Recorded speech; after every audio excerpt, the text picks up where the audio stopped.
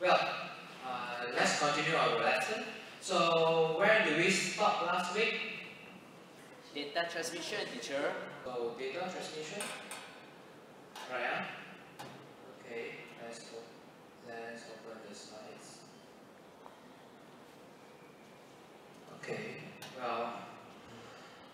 Oh, there's no no slides for this part. That's okay. Uh, I will just follow my notes. So, who can explain about data transmission? Okay, the guy in front who play his phone. Can you explain about data transmission? Data transmission is the transmission of data from one point to another. There are four basic elements in data transmission. Sending and receiving device, transmission media, connection device, and transmission specification. Sending device and receiving device are used to transmit and receive data, while transmission media is the medium that data travel. Example of sending device are uh, desktop, microphone, and PlayStation, while example of the receiving device is speakers, television, and printer, and so on. Okay, so transmission media are the materials or substances capable of carrying one or more signal and we have two kinds of transmission media which is wire or wireless. So, Zoe, can you tell me about uh, the transmission media? Uh, physical transmission media is basically like wires and cables and other tangible materials that send communication signals. Like, for example, twisted pair cables. There are two conductors which are actually twisted together to reduce noise. Good. So how about the coaxial cable and the fiber optic cable? I'm not too sure. It's okay. Uh, well, let me just continue for this part. So, coaxial cable. As you see, this is the coaxial cable, and the example of coaxial cable you can see it here, like this mic.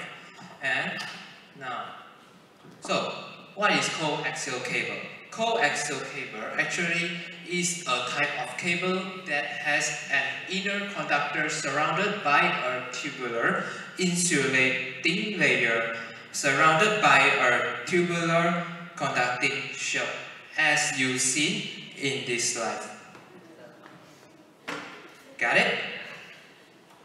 So, what do coaxial cable use for? So, coaxial cable is often used for antenna, microphone, speaker, last but not least, television. The fork. Wow, right? But it rarely used in network cabling because it's too large to fit in. Now, so next thing is fiber optic cable. So what is a fiber optic cable? Fiber optic cable is a cable containing one or more optic fibers which are made by glass or plastic that are used to transmit data with light. Got it? So these are the example of fiber, uh, fiber optic and this is the fiber optic cable. And also this, you can see, is also a fiber optic cable. So what do we use for? Fiber optic cable normally used in networking, medical,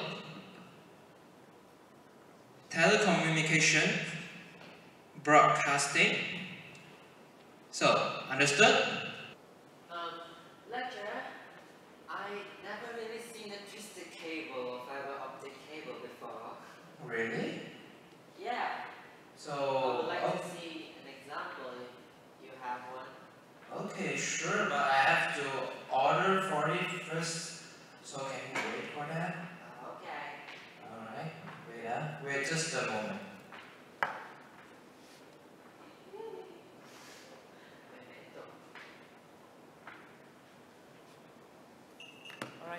All right?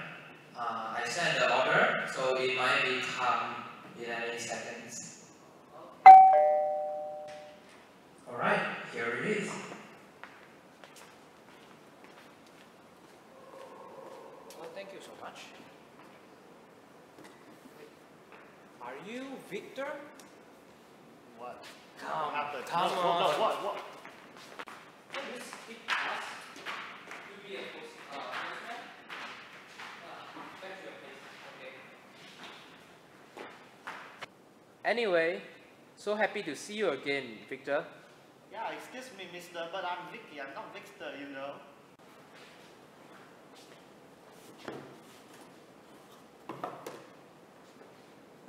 Okay, so Alvin, this is the twisted pair cable. I'm very sorry that I didn't order the fiber optic cable because it is too expensive. So, yeah, I'm very sorry about that. So, Miss Tara, can you explain about broadcast radio and cellular radio? Broadcast radio is a unidirectional wireless transmission over radio waves intended to reach a wide audience. Cellular radio distribute radio signals used for mobile communication, for example 2G, 3G, and 4G. Wow, that's good. So remember to accept my Facebook request, yeah? Uh, yeah, yeah, yeah, dude. Can I go now? No.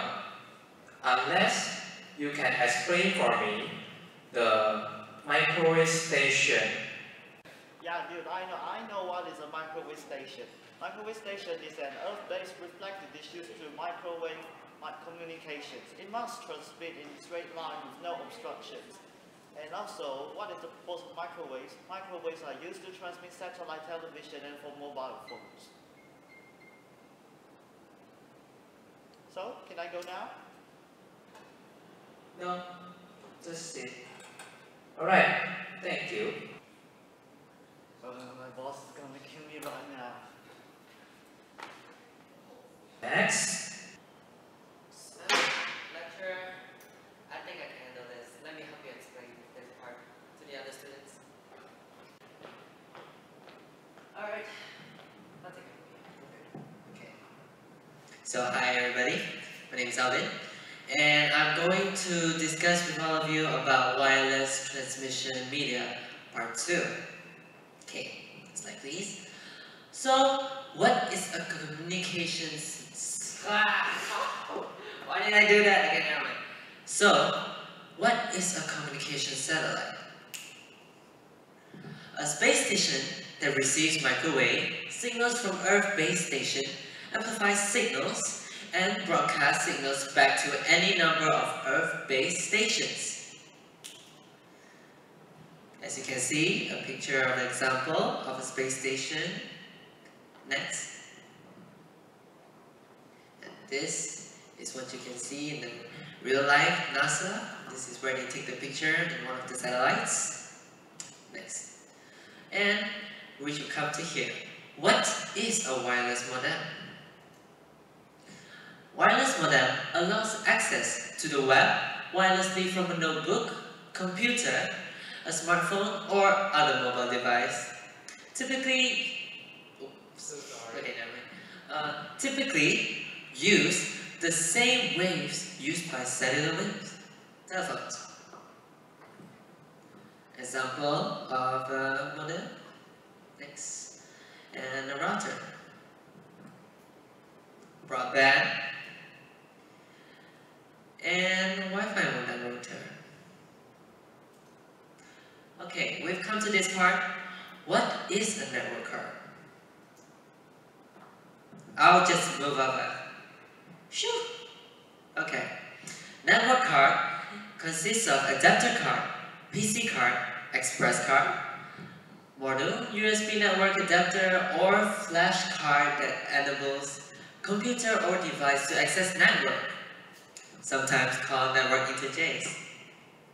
That's an example of a network card. There is an example of a network card. And another one. Alright, so thank you. You may have it. Well, thanks, Alvin. Oh no, it's almost time. The class should be end earlier.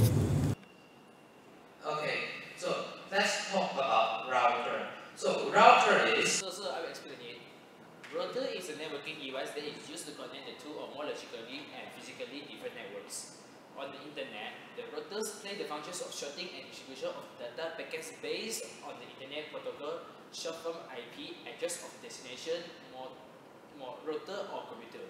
Use the header and forwarding table to choose the best shortest path to transmit the data towards the destination. Use to connect two LANs, local area network, two WANs, wide area network, and LAN with WAN and a LAN with the ISP Internet Service Provider network. It's the example of the router. So what is the hub? Hub is a command connection point for device in network. It commonly used to connect segments of uh, a LAN. It also contain multiple ports. When a packet arrives at one port, it's copied to the other port so that all segments of the LAN can see all packets. Is example hub. So what's switch? Switch is a piece of a physical security, security component that governs the signal flow is having a switch or toggle switch allows a connection to be open or closed. When open, the switch allows a signal or power to flow through the connection. When closed, the switch stops the flow and breaks the secure connection. On the network, a switch is a hardware device that filters and forwards network packets, but often not capable of much more. A network switch is more advanced than a hub, but not as advanced as a router. So this is an example of a switch and data transmission specification. Data transmission specification is a set of rules and procedures. It's coordinate the sending device and receiving device by defining how the message will be sent. So the example of speci specification is electric signal, bandwidth, serial versus parallel transmission. So the I will give you one example of the data transmission specification. One is bandwidth. In computing, bandwidth is the rate available of conceived information capacity expressed typically in metric multipliers of bits per second. Variously, bandwidth may be categorized as network bandwidth, data bandwidth, or digital bandwidth. The definition of bandwidth is in contrast to the field of signal processing, wireless communication, modern and modern modem data transmission, digital communication, and electronics in which bandwidth is used to refer to analog signal bandwidth measured in hertz, meaning the frequency range between lowest and highest attainable frequency while meeting a well-defined increment level in the signal. However, the actual bit rate that can be achieved depends not only on the signal bandwidth but also the noise of the channel.